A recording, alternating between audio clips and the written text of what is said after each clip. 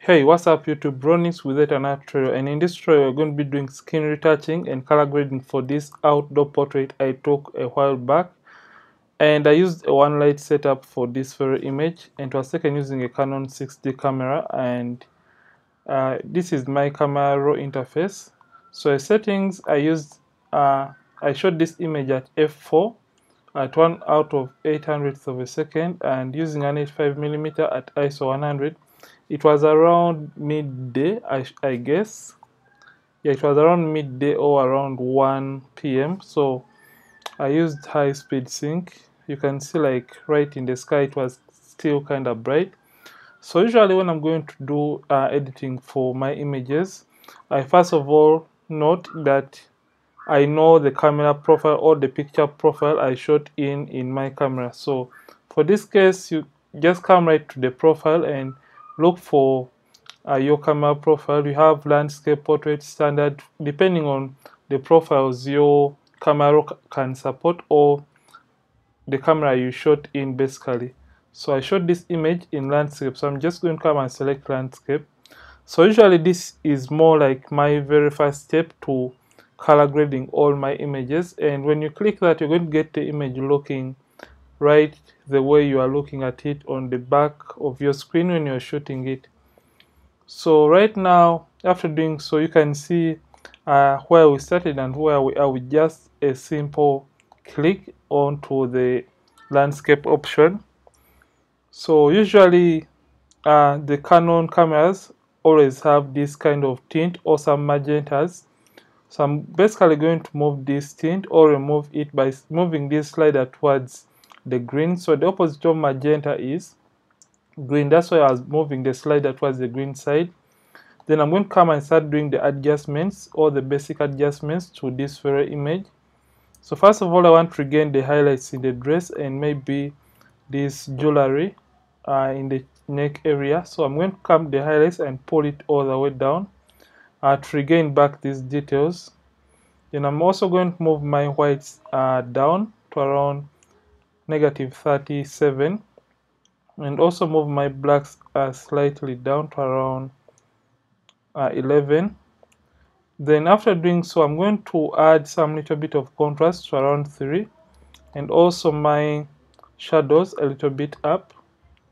So after doing so you're going to notice that the image is going to uh, turn out to look oversaturated. So I want to deal with this uh, saturation in this image I'm basically going to come and turn out turn down the vibrance to around negative 4 plus the saturation of this image to around negative 4 to kind of compensate uh, for the saturated image. I'm also going to increase on the clarity like that to add some kind of details into the darks or the blacks of the image. So since this image kind of looks uh, underexposed, I'm going to come to the exposure and I'm going to move it up so that it can slightly or match uh, the initial image. You can see that uh, the image is now detailed and the skin tones are existing in this kind of image. So after doing so I'm just going to hit open uh, to open this image into my Photoshop interface.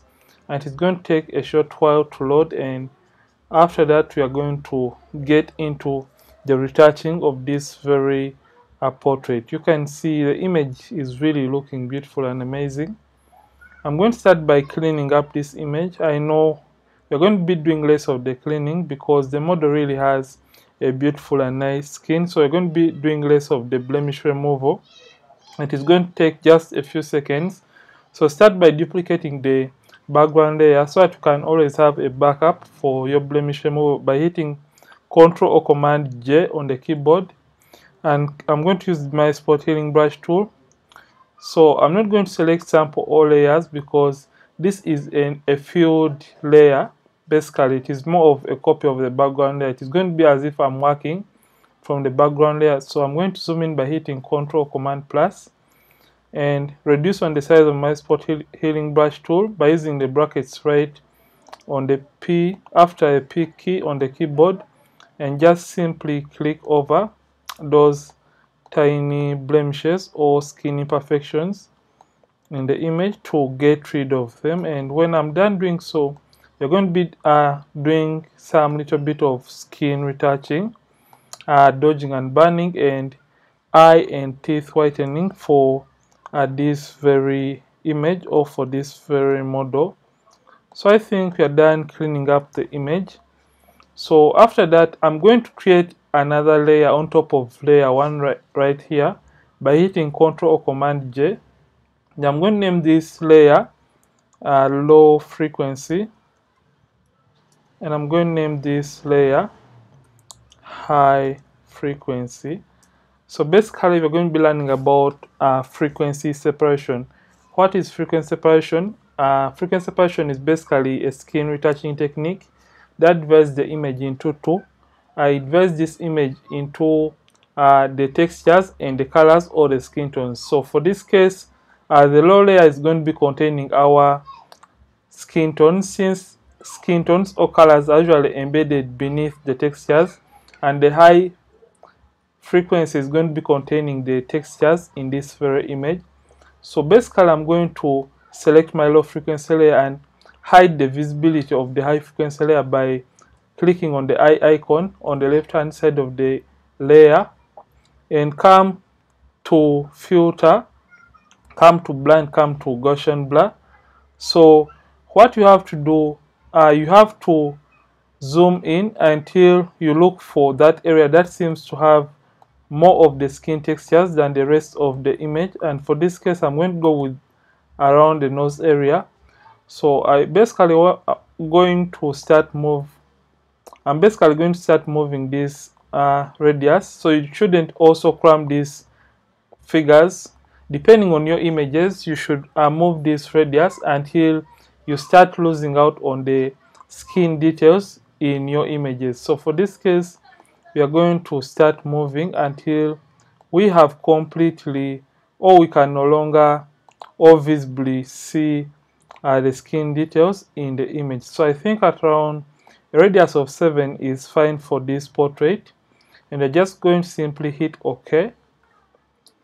And when you hit OK you're going to notice that the image has turned out to look blurry but you shouldn't uh, worry at all because you're going to be recovering the image by simply selecting the high frequency layer and activating it. So when we are on the low frequency layer we basically try to hide our skin textures from that layer and we put them somewhere. So we want to steal them from this low frequency layer. And before we can steal them you have to notice that this is a 16 a bit image. I hope you guys can notice that or see this is a 16 bit image so if at all you have a 16 bit image and an 8 bit image uh, your settings are going to be differing you shouldn't use the same frequency separation values for an 8 bit image uh, when you're retouching a 16-bit image. So the values should differ depending on the bit ratio or the bit size of your image. So after selecting your high frequency layer, basically you're going to come to image and come to apply image. So when you come to apply image, uh, if at all you have an 8-bit image like I have just shown you right here, uh, these are the settings you're going to be using for an 8-bit image frequency separation. You're going to basically going to come and now select the low frequency layer and come to the blending mode since we are uh, stealing the textures from the low frequency layer come to the blending and select subtract make sure the opacity is 100 the scale is 2 and offset 128 make sure invert is not checked or marked and always make sure that your preview is on. And when it is on you're going to notice that your textures are going to be on this gray kind of layer and it's going to be lacking the colors. But for this case we have a 16-bit image. So right now I'm going to start uh, mentioning the settings for a 16-bit image. So if at all it is a 16-bit image always make sure the blending mode is add and opacity is 100 the scale is 2 and offset uh, at 0 and after doing that come and check or click on this invert option and make sure your preview is on and you have the same values. Uh, your textures are going to be on this 50% gray kind of layer. And now click OK. So as you can notice that the image has turned out to look way more or actually worse and we can't get the colors. So in order to get back the colors you're going to simply come to the blending mode and change it from normal and look for linear light and you get back the image looking the way it was meant to be. So we're going to select both layers and hit Ctrl or Command G on the keyboard to put these two in a group and we're going to name that group frequency separation. So after we have named that group. You can turn this on and off to see if at all there is a difference between the original background image and your frequency separation group. So if at all there is no difference at all there is going to be the base out of uh, your skin retouching basically. We are going to open the frequency separation group and select the high frequency layer then come under the adjustments and create a black and white adjustment layer so the reason for creating this black and white adjustment layer is because we want a whole layer that is going to be showing us the uh, imperfect skin tones and we are going to start blending those skin tones. Remember skin retouching is more about blending or even evening out the skin tones in a given image. So you're going to come the red channel and you're going to darken the image uh, in order to see the uneven skin tone transitions in this image. You're going to close this by clicking right there. So for whichever tool you're using, always make sure that your caps your caps lock is not on. So when it is on, it is going to turn your tool into this uh, cross like icon. So you shouldn't always leave the caps key enabled so turn it off always. So since you are going to be dealing with skin tones you are going to select the low frequency layer. And now we want to get a tool that is going to help us even out or blend the skin tones in this image. So that tool is called a mixer brush tool. So the mixer brush tool is always under the brushes. So you can right click and uh, get your brush or your mixer brush tool. So this is not a brush, is a, a mixer brush tool. And if at all you don't have it right here, for older versions, it is usually under this uh, toolbar or this option. So we want to set up the brush so that it can give us uh, more natural re results when you're trying to blend or even out the skin tones. So come and select clean brush because we want the brush to uh, be clean and we shouldn't want any color on the brush so we just want it totally clean. So we have two options right here. We have the first option is loading the brush after each and every stroke and the second is cleaning the brush after each and every stroke. So we are going to be using the second option. So select this and when you select this it is going to be like in this uh, gray kind of square when it is selected. So we're going to be using a wetness of around 9% because we don't want a high wetness since it is going to be uh, making the image look like a painting or a plastic image you just want to use a low wetness and load is 75 mix is 90 and the flow 100 make sure sample all layers is not checked or marked because we are only working on the low frequency layer. I wouldn't want to sample textures from this gray layer. So after doing so make sure you're on your low frequency layer and you're going to start evening out the skin tones. And when you're evening out don't uh, don't even out the skin tones when you're zoomed into that ratio or that size. Make sure you leave it at I think right here it is fine. So start blending. And when you're blending make sure you blend the midtones alone the highlights alone and the shadows alone. Because you don't want to distort the original shape of uh, the model's face or the subject uh, we are trying to uh, do the skin retouching on. So just blend and harmonize just like that. I hope you're seeing this but uh, as you're trying to do the blending make sure you're doing the blending when you're selected on uh, the low frequency layer and just continue harmonizing or evening out the skin tones and if at all you want to check on the progress of your uh, blending I'm going to show you what you have to do after just blending right here on the cheek area of uh, the model. So you can see I'm blending these midtones alone. We have a shadow right here. I'm just going to blend it. So if at all you want to check on your progress turn off the black and white layer and you can now turn the frequency separation layer group on and off to see what you have done and i hope you guys can visibly see uh, the changes we have made to this image. So come and turn back the black and white layer and make sure you're still on the low frequency layer. So you can increase on the size of the mixer brush by using the brackets uh, right next to the P key on the keyboard. So the left bracket is going to reduce on the size and uh, the right bracket is going to increase on the size of uh, the mixer brush tool. So I'm basically trying to even out the skin tones. I'm blending the shadows right and the left of the nose bridge alone. So I'm going to come to the highlight of the nose. I'm just going to blend that too like that. I hope you guys are visibly seeing uh, how far we are taking this image.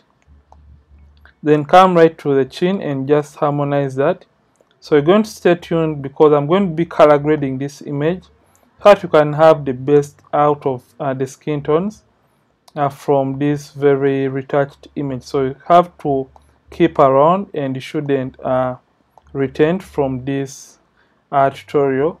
So zoom in if at all you're going to even out the skin tones on a smaller area because uh, the mixer brush tool is going to help us uh, blend or even out the skin tones on a smaller scale if at all you really want to uh, harmonize or blend the tones on a particular tiny area.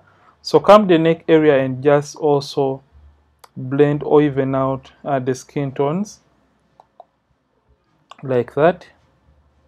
So I would recommend that you guys should uh, use the mixer brush tool on the neck and the hands and for a second method that I'm going to be sharing in this tutorial uh, we're going to be only working or using that method only on the face of our subject or on the face of the model.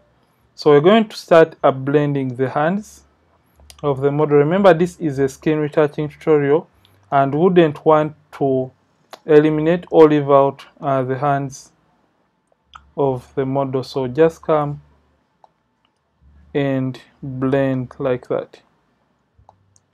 So you're basically trying to even out uh, the skin tones on the hands so that we have nice uh, smooth skin tone transitions on uh, the hands. And the way I'm doing this I'm trying to blend or even out the midtones alone the shadows alone and the highlights alone because I'm, I'm not just trying to uh, move my brush from one color or one shade to another.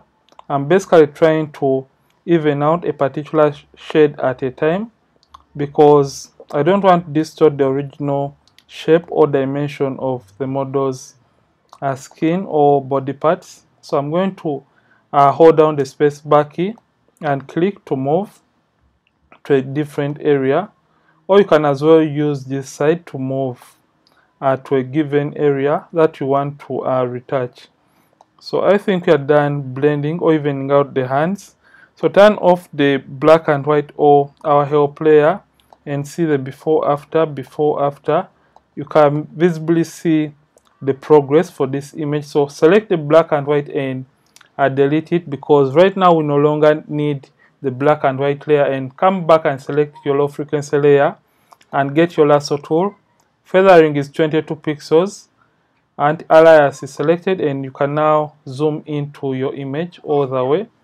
And when you zoom in come and make a selection on the face. So you should resist from selecting close to maybe the accessories on the face or maybe the eyebrows and maybe the hair and edges. Only select the skin.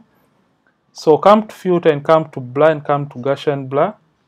So you're going to move this until we find a place where the skin texture is really even enough and it is really natural. So you have to zoom out while doing this so that even when a person looks at the image from a distance they are going to be able to look at, at the natural skin textures in the image. So come and hit ok. And now we're going to apply the effect onto the rest of the image by selecting. So you have to hold down the key on the mouse and now make a sample. Right click and click on Gaussian blur. So basically want to apply the effect onto the rest of the image. And when you apply the effect you can now reduce on it by hitting shift Ctrl F or shift command F to reduce on the effect on a particular area. So just want to apply it onto uh, the face to uh, blend the transitions even more for the areas we, we may have missed out when we are trying to use a mixer brush tool to even out the skin tones uh, of this model. So come right this side towards uh, this other side and draw the shape according to the way light is falling on a particular area. And right click and hit Gaussian blur. So you're basically trying to even out the skin tones using the tool method and I know some people prefer to use this as an independent option of uh, frequency separation but I prefer uh, using both because uh, when you combine uh, both uh, you get a really powerful image or results out of your retouching. So you can see the before after before after. I think we are done uh, retouching this image. So right now we want to do the eye whitening. And before we can do the eye whitening first of all we want to uh, do or to add shape or dimension to this image. Remember when you're doing skin retouching sometimes it tends to flatten your image. So we want to uh, add some little bit of shape or dimension to this image. So we're going to come to the curves adjustment layer. So come to curves. And now come to select and come to color range so for this case, we only want to enhance uh, these highlights right here. So when you select color range, make sure your quick mask option is activated and selection is also marked or checked. And now select the highlight and you can increase or decrease on the fuzziness to get a nicer selection. So for whichever area you select is either going to be kind of yellow or green in color and now if at all it is a highlight so hit ok. And for this case I'm only going to dodge this image to add some bit of highlights to the image. I hope just move it slightly up. And I think uh, that looks okay I'm going to close this. You can see the before after before after. We have just added shape or dimension to this very image. So right now I would love to start uh, doing the eye and teeth whitening. Before we can do some little bit more of color grading in camera raw so we're going to create another stamp visible layer by hitting shift alternate command E on the keyboard or shift alternate control E on the keyboard to create a stamp visible layer and you're going to basically duplicate it by hitting control or command J on the keyboard. Then you're going to come to filter and you're going to come to camera raw filter and you're going to start uh, doing the eyes and teeth whitening. Remember this is a powerful tool that is going to transform your images. So uh, we, we are going to zoom into the eyes by hitting the zoom tool or you can simply use control or command plus and come to the adjustment brush tool. So since we have some yellow color in the eye area we have to come and set the adjustment brush. So this is the adjustment brush. So when you're setting it you're going to move towards the opposite of yellow and you're going to go with around negative 29 then move the tint since we want to eliminate some greens in the eyes to around 61 and since we want the eyes to pop just move the highlights to 4 and plus the whites. And now we're going to leave the rest at 0 as you can see. Now since we have the color or colors in the white area of the eye move the saturation slider towards uh, negative 66 and now start painting over the white area. You only have to paint over only and only what you feel should be a white in uh, the white area of the eye basically. So hold down the space bar and move to a different area that you want to whiten. And also start painting over the white area. You can even enhance that catch light to make the eyes pop. You can now zoom out and get your zoom tool and you can now simply uh, zoom into the image hold down the space bar and move towards the teeth to do some teeth whitening. So hold down the space bar to move. So when you're doing teeth whitening make sure you uh, paint over each individual tooth at a time to do auto whiten the teeth basically. So just do this and because when you paint over the gum it is going to desaturate the gum and you don't want uh, desaturated gums anyway. So just paint over only what you feel should be white uh, in the teeth. So just come and paint over like that. I hope you guys are learning and getting tips and taking notes from these uh, numerous tutorials that I keep on uh, dropping or uploading on uh, this channel. So hold down the space bar key and click to move to another area. So basically I'm doing the teeth whitening by painting each individual tooth at a time. I know some people are really not patient with this step and they prefer to uh, just move the brush from one side to another and it's going to be giving you guys a natural or results that are not nice at all and it is going to be seen by a person that is going to be looking at your images when you do post them. So uh, we I think we are done whitening the teeth and you can see the difference we are now have in this image. Then after we have done so we are going to come back to these adjustments and we are going to do some little bit more of adjustments right here. Um, we are going to move the reds to around neg negative 4 and also the saturation of the green primary to around negative 5 then we are going to come to the HSL panel and we're going to come the hues and we are going to come the oranges and we are going to move these oranges towards uh, the yellows I should say. And when you're done doing that you're going to hit OK and I think we are done doing the eye and teeth whitening and some color grading to this image. You can see the before after before after. So we're going to come to the selective color option and you're going to come to or under the blacks and you're going to just increase on the blacks to around 5 in this image. And you're going to move the yellows to around uh, negative 10 to have this image uh, having that kind of pop or to add some little bit of pop uh, to this very image. And I think we are done doing the retouching and color grading to this very image. So you can see we started right here and here we are. And you can see that the image is looking uh, nice and beautiful and has that kind of pop added onto it. So right now I want to show you guys the best way to export your images in Photoshop. And the best way to export is you have to come to file because you don't want your image to change color when you post it or share it on another device. So you simply have to come to file then come to export and come to export as. So when you come to export as this is where I usually get my images to have those nice and rich tones and having a very sharp image when I post it on Instagram or I use another device to view my images. So it is going to load this preview. And under a preview you have the format. Of course JPEG is the most supported format.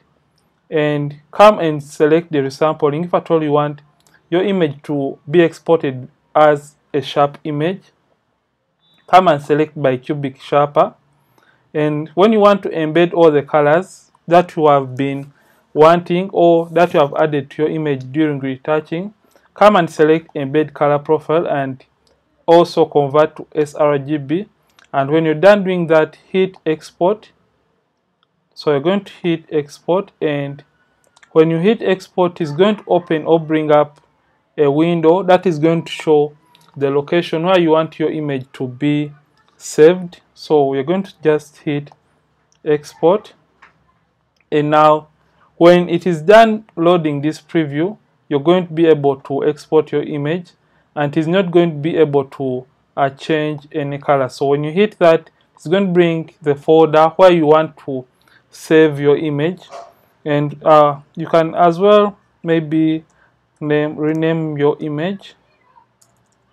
Like tutorial and just hit save and your image is going to be saved in the location you selected so basically this has been a retouching tutorial about um, how I retouch my outdoor images and how I retouched this very image and color graded it. We also did color grading and eye and teeth whitening and also did dodging and burning and later on saved this image in Photoshop. And if at all you like this tutorial, don't forget to like this video and don't forget to subscribe this channel. If at all you're watching from this channel for the very first time, I'm Ronnix from Ronnix Photography. Thank you for watching and I'll see you in yet more tutorials on this channel. Don't forget to keep practicing and keep creating.